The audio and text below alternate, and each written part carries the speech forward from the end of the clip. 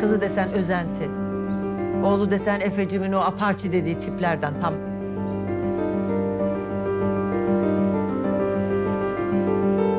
Neden bu kadar kaba davranıyorsun? Ben hiç anlamıyorum. Kaba mı? Niye kabaymışım? Ben senin gibi yüz vermiyorum o kadar. Yüz vermek ne demek canım? Allah yüz veririm de ayrıca. Çünkü misafirlerimiz onlar bizim. Biraz nezaket hak etmiyorlar mı sence? Dün miras kaldığını öğrenince bir sarılıp öpmediğin kaldı. Onda nezaketinden mi yaptın acaba? Neydi o halin? Mutlu gülücükler, pohpohlar, sevinç gösterileri. Evet mutlu oldum. Olamaz mıyım? Buna da mı karışacaksın?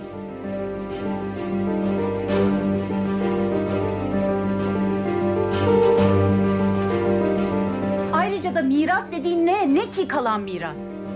Zaten Melek çok daha fazlasını hak eder. Seni ilgilendiren bir durum mu var? Sen niye onun avukatlığına soyunuyorsun ben onu anlamıyorum. Çünkü senin bu yaptıkların artık benim vicdanımı rahatsız ediyor. Bu kızın elinden her şeyi aldın, yetmedi, evden kovdurdun. Hatırlıyorum arkadaşı aradı, dedi ki lütfen idare et dedi. Ne yaptın? Koşa koşa gittin amcama şikayet ettin. Ondan sonra da masuma yatıyorsun. Zorla söyletti amcam falan. Daha ne yapacaksın ki zaten? Bu kızın hayatını elinden aldın. Bu. Ya yeter. Yeter. Amcama söylerken olayların buralara kadar geleceğini ben düşünememiştim. Beni bununla suçlamaktan vazgeç artık. Senin tek bir düşüncen vardı. O da Demir'i Meleğin elinden almak. Kapat şu kapıyı.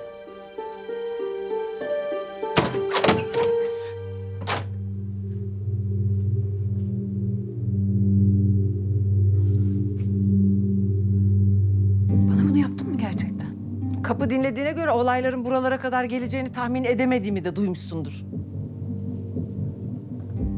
Babama sen mi söyledin? Böyle olsun istemedim. Yo istedin.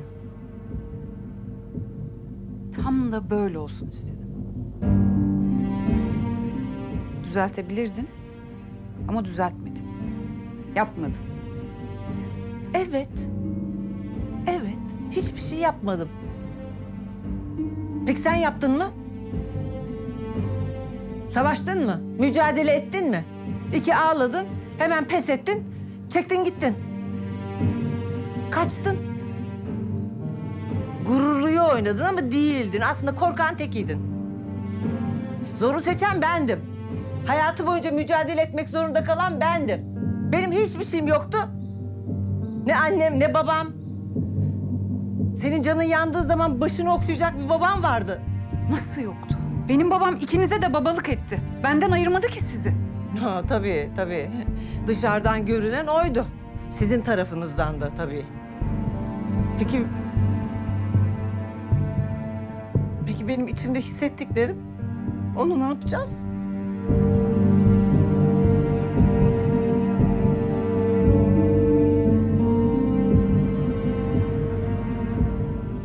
Sen onu hiç bilmiyorsun. Ne yaşadığımı. İçimdeki o eksiği tamamlamak için ben bu kadar çalıştım. Koskoca bir imparatorluk kurdum. Sen ne yaptın? Kaçtın gittin. Tabii. Tabii sen ağzında altın kaşıkla doğmuşsun bin türlü imkanla. Ama sırf korkaklığından, sırf tembelliğinden bütün hepsini benim elime teslim ettin, gittin.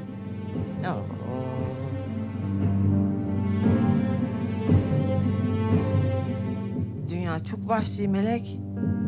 Ama işte bu vahşi dünyada korkaklara yer yok. Anne.